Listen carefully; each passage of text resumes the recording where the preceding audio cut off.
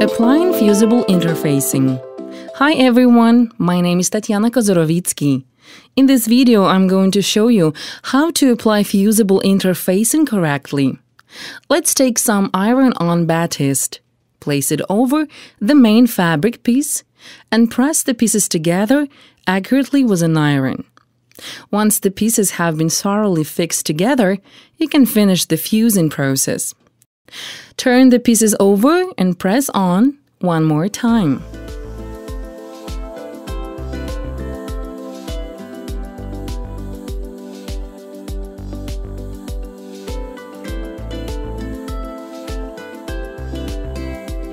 You were learning with Tatiana Kozorovitsky. Remember to subscribe to my channel and the newsfeed of my website, corsetacademy.net.